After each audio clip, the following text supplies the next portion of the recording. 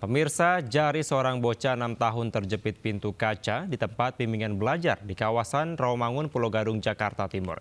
Evakuasi berlangsung dramatis dan melibatkan petugas pemadam kebakaran.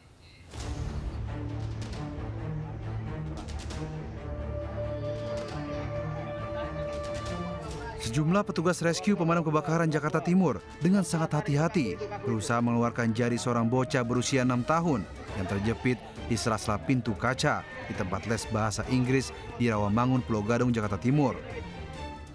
Susah payah, petugas berusaha mendorong agar tidak melukai bocah itu.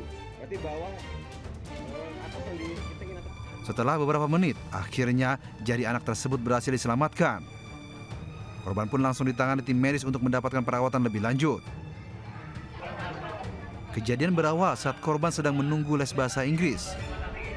Korban lalu bermain-main di pintu kaca, lalu salah satu jarinya terjepit dan tidak bisa dikeluarkan dari pintu.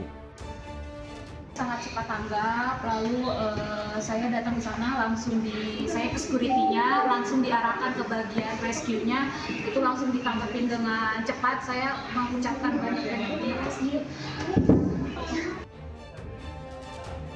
Setelah berhasil diselamatkan, orang tua korban mengucapkan terima kasih kepada petugas pemadam kebakaran yang cepat tanggap menyelamatkan jari anak tersebut. Dari Jakarta, Rio Manik Ainus melaporkan.